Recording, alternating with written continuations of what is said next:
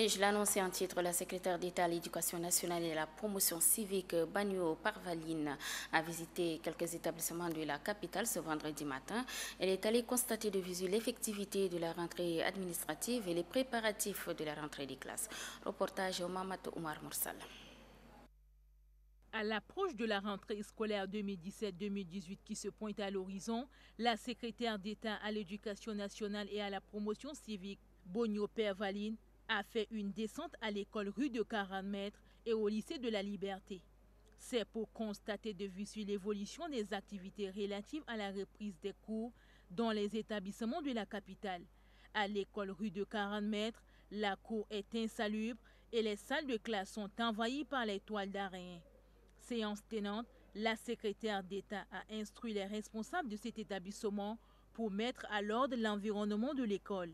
Après l'école rue de 40 mètres, la délégation a mis cap sur le lycée de la Liberté, d'où l'on constate les mêmes problèmes. Pour la secrétaire d'État, beaucoup reste à faire. Les gens sont déjà prêts, mais certaines cours ne sont pas déblayées. Il y a des eaux stagnantes qui sont restées, qui ne sont pas drainées. Et les salles de classe aussi ne sont pas nettoyées. Mais j'ai donné déjà des consignes et j'espère qu'ils le feront dans les deux jours à venir. Bonio Pervaline a prodigué des conseils aux responsables des établissements visités afin de mettre tout à l'œuvre pour que la rentrée soit belle. Voilà, autant pour moi, c'était un reportage signé Christelle, Christelle Ngarlemdana. Et oui, plus que 48 heures et les élèves reprendront les chemins des classes. Alors, comment les, parents préparent-ils cette rentrée pour leur progéniture? Élément de réponse dans ce reportage signé Mahamat Moussa Ab, Abdoulaye et Vareladji. La rentrée scolaire 2017-2018 est prévue le 2 octobre prochain sur toute l'étendue du territoire national. À 72 heures, les parents s'activent pour les achats des fournitures scolaires de leur progéniture. Sur les grandes artères, les jeunes exposent divers articles. À l'exemple d'autres avenues de la capitale, l'avenue François Ngarta Tombalbaye illustre les activités lucratives de ces jeunes. Pour ces vendeurs, les chiffres d'affaires sont en baisse cette année. Dans cette année, franchement, le marché ne marche pas. Sinon, l'année dernière, avec les privations de grève et autres, on a assez de clients. Ils viennent régulièrement, ils paient les fournitures avec nous, mais cette année, ça ne va pas. Peut-être on espère que dans deux jours, trois jours avant la rentrée scolaire, qu'ils viendront nous payer les fournitures. Quoi. Mais cette année-là, franchement, ça ne va pas. Depuis euh, le samedi jusqu'à dimanche, là, j'étais venu au marché sans personne n'a pris une de mes choses comme ça. Donc hier, là, j'étais déconné, je n'étais pas venu. Mais si seulement je reste à la maison, ce n'est pas une solution. En moto ou en voiture, les parents des enfants s'arrêtent pour l'achat des fournitures. Quelques-uns rencontrés sur le lieu trouvent abordables les prix des articles.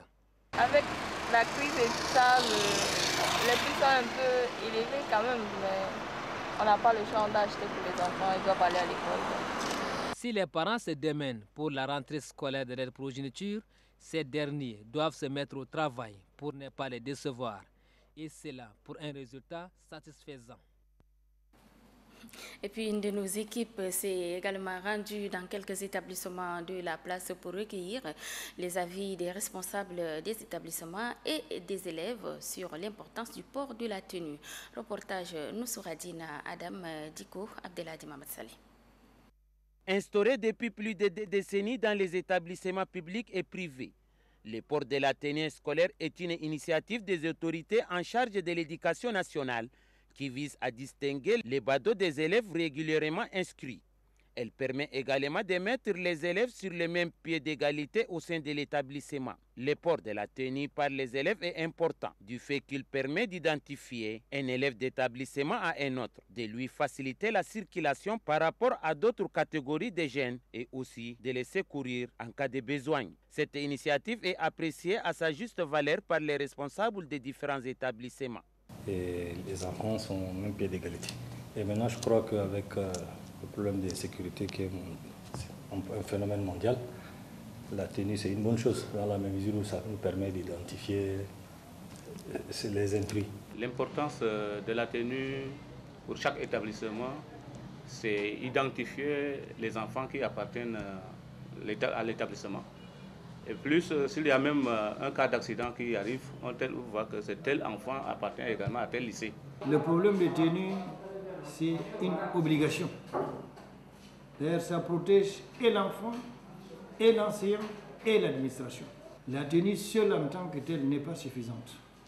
Mais il faut qu'il y ait un logo. Et ce logo-là varie chaque année. Pour les élèves, c'est le même sentiment d'égalité et d'identification. Donc je vois, si nous sommes avec la tenue, nous sommes uniformes.